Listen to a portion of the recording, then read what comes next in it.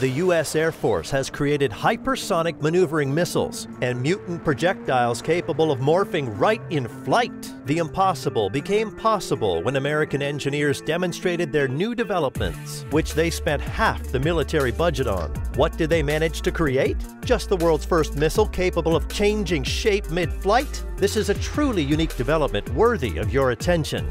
The technology that was called Mutant is a special articulated joint that allows the missile to bend by up to 45%, thus changing the direction of flight. This breaks entirely new ground on maneuvering missiles. Of course, this unique apparatus caught the attention of the Air Force, as the Mutant is capable of destroying the latest and fastest targets, whether it's the latest generation of fighters or other ballistic missiles. Previously, it was necessary to use tricks, such as reducing speed or using rotary thrusters, but now it is enough to simply deploy the warhead for maneuvers. The new invention can even withstand temperatures up to 900 degrees Celsius. Theoretically, it can be made hypersonic, but a missile like that already exists. We will talk about it in the second part of the video. Now the main question remains, who will be able to use the Mutant missiles? The answer becomes clear when you look at the F-35 Lightning II. The American engineers from Lockheed Martin Company are considered to be the experts for a reason,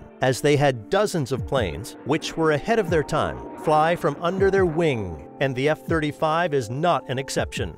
The aircraft first flew in 2006, and its main feature is versatility. The Air Force, Marine Corps, and even the U.S. Navy all use this steel monster. In the standard variant, the F-35 has two maneuvering air-to-air missiles, two corrective bombs weighing 910 kilograms, and a 25 millimeter cannon. It might seem like this isn't enough, but you should see how skillfully it deals with the opponents. The F-35 was repeatedly criticized in the US because of its high cost and combat performance. Even Donald Trump criticized the cost of the plane on Twitter, which reaches $100 million per unit. Even the head of the Pentagon was dissatisfied with the result. Since the program to develop the F-35 fighters is supposed to run until 2070 and its total cost estimated at $1.5 trillion, that is why the fighter had to be extensively upgraded to eradicate any competition.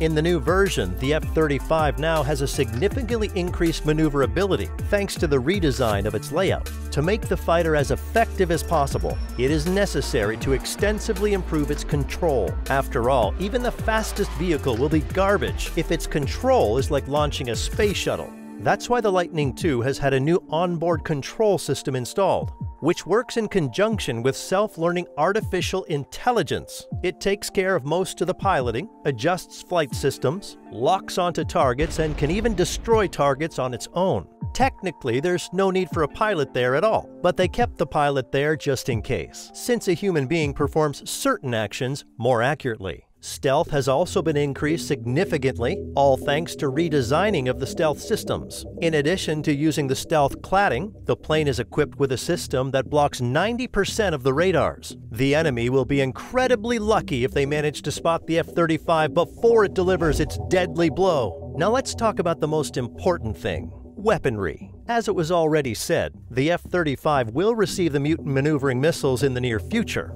but even without them, it can destroy all possible and impossible targets. A whole killing arsenal of various guns and shells comes to its help, but we are primarily interested in the missiles. Guided ASR-AAM cruise missiles blasting at 3,900 kilometers per hour are able to take out the biggest air enemies, and if the target is on the ground, they'll get a really big AGM-158 that weighs a ton it's designed to hit important, highly protected targets and does its job successfully even in the worst weather conditions. Let's think. What does it take to take down an enemy? Cool guns? High speed? Reaction? No. The first thing needed is to get its coordinates. To do that, people have been using radars, and it is almost impossible to shoot down modern airplanes without them. Now imagine what would happen if you took away the enemy's radars. That is exactly what the HARM anti-radar missile does. It is designed to just calculate and destroy enemy radars, and it does it incredibly well. Its sensors calculate the radar waves and find their source.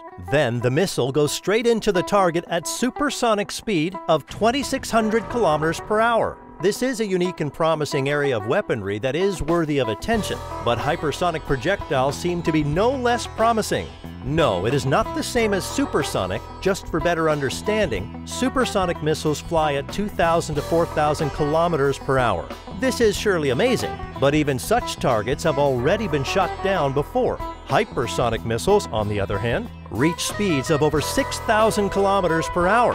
It is unthinkable but true this is the missile that was created by experts from the U.S. The Lockheed Martin Company presented the first in the history of America hypersonic missile under the name HAWC, which had already managed to excite all politicians around the world. So how does it work?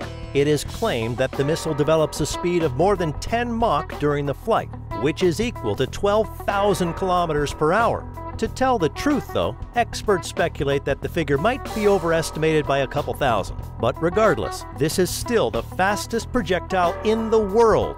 The HAWC can shoot down absolutely any targets, whether it is an enemy missile or a fighter of the sixth generation. In fact, it was actually designed to destroy the new generation of aircraft. It consists of a solid fuel air launched missile in a hypersonic block with a rocket engine hidden under its cladding. According to engineers, the missile can also maneuver in the initial part of the flight. The test launch of the missile was conducted from the B-52 bomber, which shows that it can be used on older aircraft, even though it is best suited for a sixth-generation fighter. The Pentagon has long been talking about its need to improve its obsolete equipment. All previous aviation was rapidly losing relevance, and some projects were becoming completely unsuitable and unprofitable. Airspace control is absolutely critical in today's world, and it provides an opportunity to dominate during combat operations. The Pentagon understands this very well and has already presented us with its sixth generation fighter, which has exceeded all expectations. Its name is the NGAD, and it's truly a unique aircraft. It combines the qualities of a fighter, interceptor, and bomber, and has the technology that could only be seen in science fiction movies before.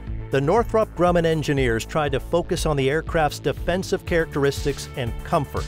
It is stealthy, fast, and ergonomic as possible.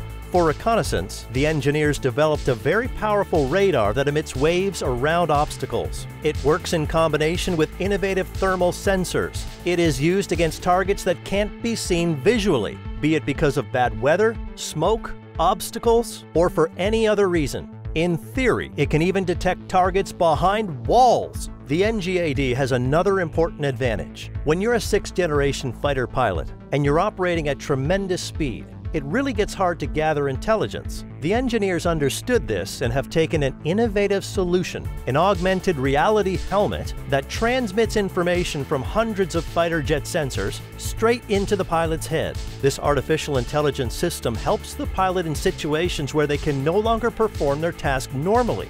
For example, when a person is under stress or completely blacked out. Thankfully, all bodily processes are also entered into the database of the aircraft.